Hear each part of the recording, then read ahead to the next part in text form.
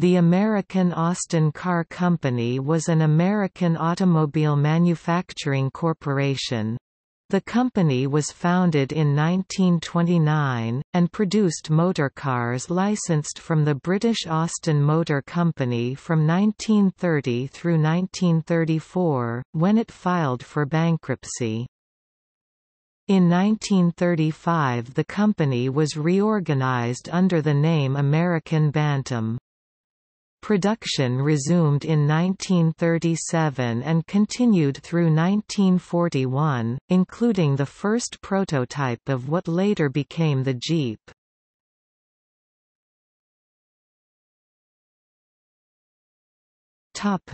History American Austin Car Company was founded in 1929, in Butler, Pennsylvania, in premises that had belonged to the Standard Steel Car Company.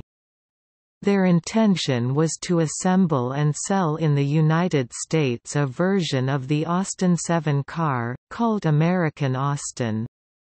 After some initial success the Great Depression set in, and sales fell off to the point that production was suspended. In 1934 the company filed for bankruptcy. The automobile was designed in the hopes of creating a market for small car enthusiasts in the United States. The cars had 747 cc 45.6 cu in inline 4 engines, enabling the car to return 40 mpg US 48 mpg imp 5.9 L 100 km and travel 1000 miles or 1600 km per 2 US QT 1.7 imp QT 1.9 L fill of oil. It was capable of 50 miles per hour, 80 kilometers per hour in high gear. Styling resembled small Chevrolets, with Stutz and Marmon-style horizontal hoodlouvers. The bodies were designed by Alexis de Sosnovsky and made by the Hayes Body Company of Detroit. The coupe was billed as a sedan, and sold for $445, slightly less than a Ford V8 Roadster. The Great Depression made the cheaper second-hand cars more appealing, so sales dropped off. More than 8,000 cars were sold during the company's first and best year of sales, but sales fell off to the point that production was suspended in 1932. It restarted in 1934 with bodies now made in-house, but stopped again between 1935 and 1937. About 20,000 cars were produced. Beginning in the 1960s, the car gained a following with hot rodders, as well as among drag racers. The 75 in 1900 mm wheelbase made it attractive, even compared to the Anglia.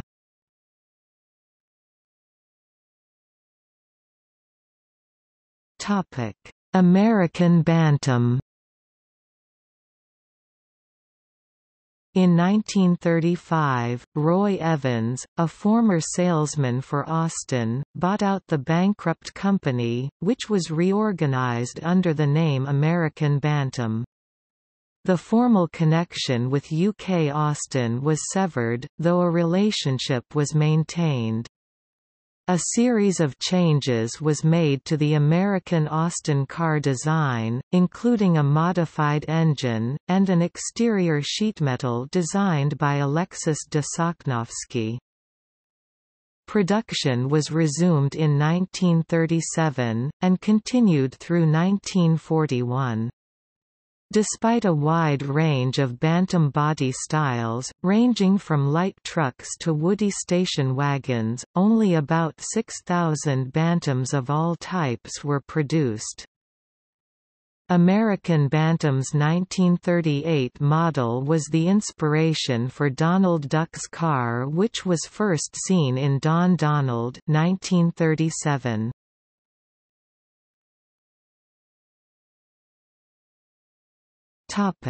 Original Jeep American Bantam is credited with the design of the first Jeep by Karl Probst, and built 2,675 of these. More than half of the initial production went to the British Army and some to the Soviet Union. Some of the motors and chassis were imported from Toledo, Ohio. The original bodies were made at the American Bantam Car Factory in Butler, Pennsylvania. The Bantam Company produced the most fuel-efficient engine and first prototype under the original U.S. government tender specifications and was awarded the first contract, but because Willys Overland used a more powerful engine, and because elements favorable to Ford within the Quartermaster Corps claimed that Bantam lacked production capacity to produce the vehicle on the scale needed by the United States States Department of War, the awarding of ongoing contracts was reopened. Eventually the U.S. Army gave the BRC Bantam Reconnaissance Car 40 designs to Willys Overland and awarded the bulk of orders to Willys and Ford, while Bantam went on to produce Jeep trailers T3.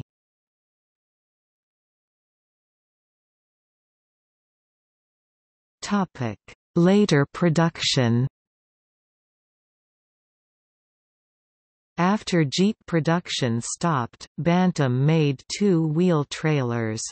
This continued until the company was taken over by American Rolling Mills in 1956.